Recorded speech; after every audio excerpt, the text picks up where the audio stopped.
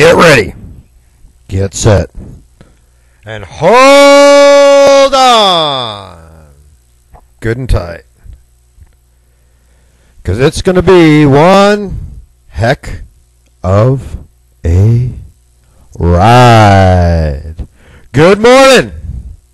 Welcome to today, Wednesday, August 27th, 2014. And this, what you're listening to here, is the Mouth of Matuszak Show. I'll say that again slow. Mouth of Matuszak. Because I am your host, Paul Gregory Matuszak, and you're stuck listening to my mouth. Or you could change the channel or uh, stop the podcast. But you don't want to do that. You're interested in what I have to say, and I'm interested in what you have to say. So go ahead. If you're listening to the podcast, go ahead and uh, leave stuff down in the comments, and I'll try to get back to you either on the air or uh, directly through the comment feed. If you're listening to this live, or you want to call in live, you're listening to the podcast, but you want to call in and uh, have your voice heard through this broadcast, go ahead and call 520 226 8567. And uh, we're right here with you from 8 to 9 a.m. Monday through Friday. And that's 8 to 9 Central Time. Because I'm down here in this little insignificant speck of dirt. This place that's so small, it's hard to actually hard to actually believe that they consider it a state. Of course, I'm talking about Texas. Texas. Yeah. Slowly but surely, folks, I'm becoming a uh, true Texan here. I emigrated here. I bounced around the world for about 24 years as a, a soldier in the United States Army, settling down originally in Arizona. And we'll be talking more about Arizona later. But uh, I emigrated to Texas. Plan to be here for a few years. Who knows how long it's going to end up being, but uh, the way it's going so far, folks, I'm kind of liking it here. There's a couple things I need to fix, but not a bad place. Good economic situation. And uh, got a little bit to uh, talk about with that later. But speaking about other voices, let's listen to the voices and get our blood going on this hump day with a little bit of uh, Steven Crowder and Chris Loesch, otherwise known as Powdered Zombies, coming at you with a little bit of uh, their song, Mr. America, which, well, a little bit about the song, folks. It was uh, originally, I think it was done at CPAC. Uh, Chris, if you happen to be listening, get back to me. Let me know uh, when you actually, you and uh, Steven actually did this song.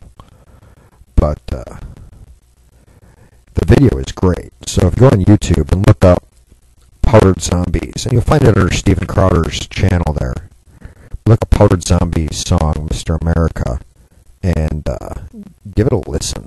And uh, while you're listening, of course you're hearing it on the show, but take a look at the video, and you'll see some uh, interesting faces there. Among them, of course, is uh, Chris Loesch's lovely wife. The, uh, well, she's indescribable. The wonderful, for one word, uh, dynamic and uh, energetic and very outspoken uh, Dana Loesch makes an appearance in the video. But, Mr. uh, America, there you go. look what you've done. Yeah, looking at the country is not what I intended. Gotta start to make a change before the never ending story of a failed nation runs straight out of luck. Like a million Tyler Perry movies, ah, you suck. All your little have life, you still selfish and want more voting in your self interest now instead of the core principles that made this country both honest and true. Free to speak, worship, pursuit of your happiness too. With all the money you fly, you gon' be needing big freeze. Hate the size of the Fed, like Jesus hated the fig tree. As the spending goes up, you gotta borrow some more. Borrowing from the Chinese, like, oh my lord. Instead, you just tax more, you're increasing the size of the federal government. Yeah, the Georgia surprise. You'll be done like Detroit, man. No, you ain't coming back. Forget it, I'm out. I'm muzzle loading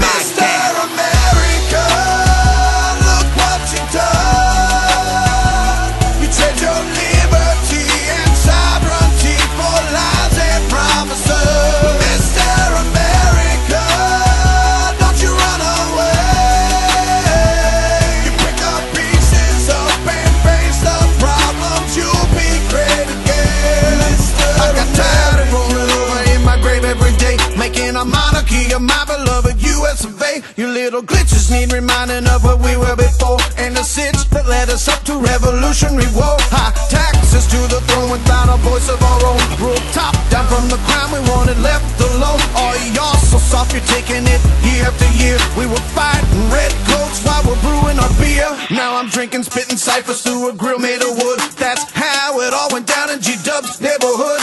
Packing cabin balls like powder hammers with cock, lock, click, clack. The loss of backs like the attack, I rock. The chicken littles who don't know me, the B's for much less than this. So don't deny the historical climbing out of the mud. Follow me, believe the screed, plant the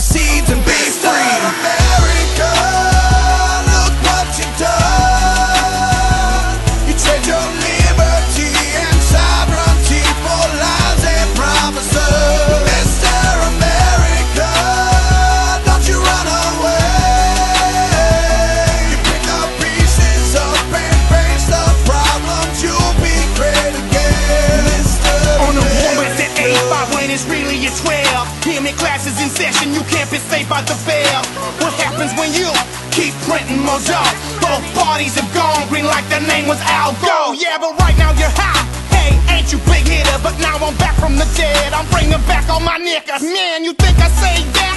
What's wrong with you? I'm just talking about my show back then. I rock with my shoe. But let's go back to the first point I was trying to make. The degradation of our freedoms and our country at stake. The government's getting grand while private sector grows smaller. Pour one out for your homies, cause here comes the cold water. Unemployment still rising. Our debt's growing still. The only change you're gonna get is being left with the bill. America, look what you've done.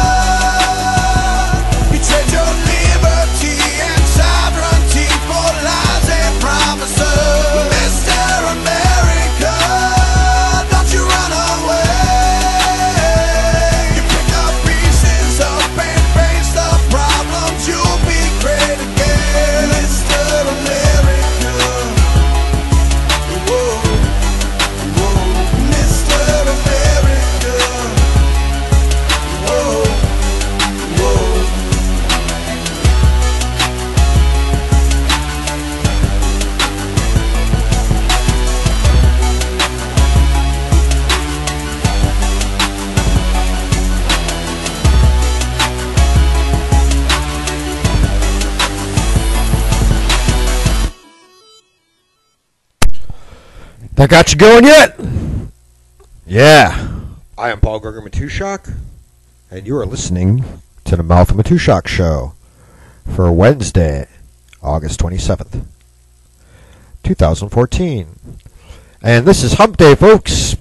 So we want to uh, we want to take a lighthearted approach to some things when we can, and we want to talk about some happier things when we can. We want to talk about some good things when we can to kind of lift up uh, this middle of the week, this hump day, something to carry us on through to the end of the week on Friday, where we start our weekend. And for many people, not all, but for many people, this is a three or four day work weekend because Monday is Labor Day. Which means you're supposed to take the uh, day off from your job, possibly a paid day off, possibly not. And you're supposed to go and work for free fixing your home or fixing somebody else's home. No, I, I, I jest, folks. It's just a national holiday that was brought up to uh, make sure that uh, people got uh, a day off at least once a year, um, and that's the uh, the primary reason why the, the day was created. But uh, well, things have changed in our country, folks. These days, people working decent jobs earn uh, PTO, paid time off hours, um, as they uh, continue to work for a company. And then when you change companies, of course, that whole clock starts all over again. And when you have uh, the current trend with uh, millennials, where they're we're staying at a uh, company for more than two years, it's considered being there too long. It's kind of hard to accrue that PTO to anything substantial. But most companies, uh, at least ones that pay above minimum wage, do offer some kind of a, a paid time off benefit, which is a great thing. Now, minimum wage, okay, first of all, anybody who's trying to support a family on a minimum wage paycheck, um, that I hope that's a temporary condition. I hope you're working minimum wage while you're going to school or doing something else that can uh, get you a, uh, better paying, more fulfilling job. Because minimum wage, folks, it's not meant to raise a family on. So anybody wants to raise a minimum wage, you're going to hurt those who actually are working the jobs that are meant to support a family because now their wages are going to be um, proportionately decreased. And people are wondering how does that work? Okay. Minimum wage is seven twenty-five an hour. A uh, fifty percent raise. That's fifty percent of seven twenty-five, so about half, which is roughly uh, three dollars and sixty cents an hour. Let's round it up to 375. So that would be boosting minimum wage uh, up to $11 an hour. So that's almost a 50% raise. So if you're going to do that, that would mean that somebody who's making uh, $14 an hour, which is just less than twice minimum wage, should now be making $21 an hour that would be a proportionate pay increase, wouldn't it? I mean, they're evidently doing something that the market decides is worth almost double minimum wage. So, you're going to go from uh, paying more for those skilled workers. Well, that means you're going to be paying more for your car. You're paying more for that truck driver who uh, drives the big rigs and brings the food to the grocery store. You're going to be paying more for the x ray technician who x rays your joints when you get hurt. You're paying more for everything because if you're going to raise the minimum wage, you have to raise everything else proportionately. If you don't, well, then that $14 an hour position would basically be reduced in value by the market um, by, let me see, let's do that calculation. By about yeah, 30%, 25, 30%. So you might as well reduce their rate. Instead of raising minimum wage, when you raise minimum wage, it's the same thing as reducing the wages of anybody above it by about half of whatever that increase is to minimum wage. That, that's not exact math. That's approximation. Yeah, can go and look at full calculations by the experts, but that's the way it kind of goes down. But anyway, just increasing minimum wage is going to increase the price of everything. Um, that's an increase of 50% on the labor costs to produce your Whopper or produce your Big Mac, for those of you that eat nothing but fast food, or your or your Taco Bell, or your Taco Cabana, or whatever your your Popeyes chicken, what whatever your fast food preference is. So you have to pay more for the labor costs, and you have to pay more because the labor costs involved in delivering the food, et cetera, et cetera. It means the cost of the product goes up. So suddenly, you're not sure what the costs are because I don't eat Burger King, but let's say a Whopper meal is five dollars, just for argument's sake. Well, now, because labor costs have gone up, that Whopper's meal is now going to cost seven fifty.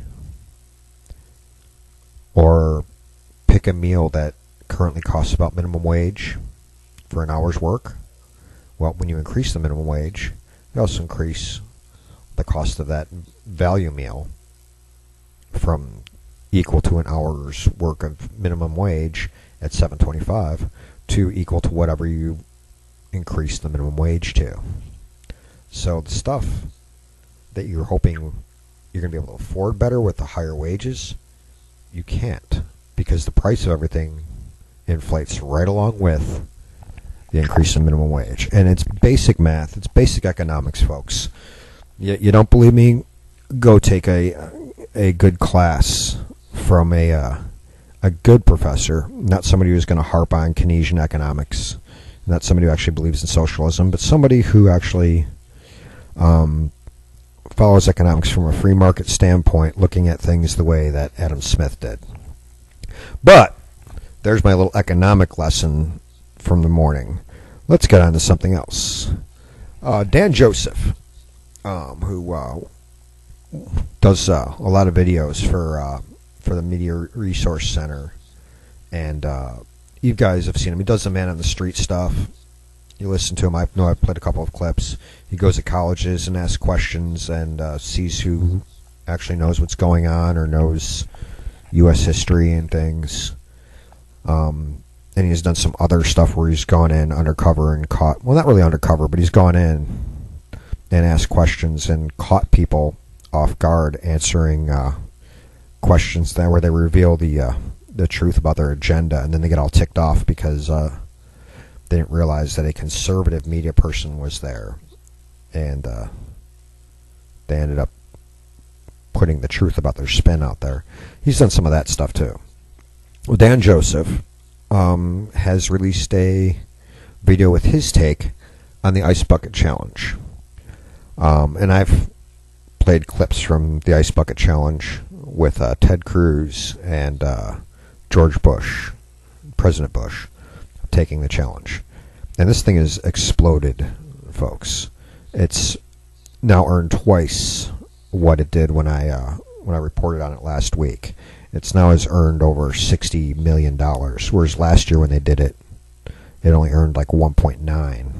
So uh, it's doing good things for a bad disease. So let's listen to what Dan Joseph um, had to say. Hey kids, Dan Joseph here. So the other day, somebody nominated me for the ALS Ice Bucket Challenge. If you don't know what the Ice Bucket Challenge is, then this must be your first time on the internet. So welcome. I hope you like cat videos and also horrible people anonymously saying awful things. You'll see a lot of that too. Now, if I had been challenged three weeks ago, I probably would have taken it. But at this point, I feel like the whole trend is getting dangerously close to Harlem Shake territory, and I'm seeing a lot more people who find the constant barrage of videos annoying at this point instead of entertaining. So I declined. My other option was to make a donation to an ALS charity, but none of them would accept POGs as a form of payment. Which sucks for them because I got a sweet ass POG collection. When I go to the club, I make it rain POGs. Yeah, they really don't like me at the club. The Ice Bucket Challenge has led to about 2.5 million videos and raised more than $63 million for ALS so far. This is amazing, especially considering that ALS only affects about 13,000 people in the United States.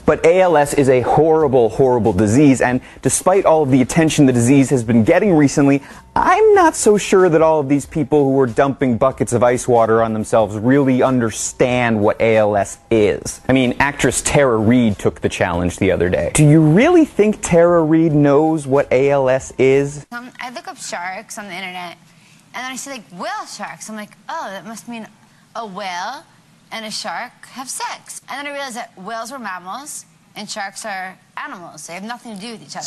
I'm most concerned that the ice in that bucket may have hurt the hamster that runs around on the little wheel inside of her head. So, in lieu of taking the challenge or making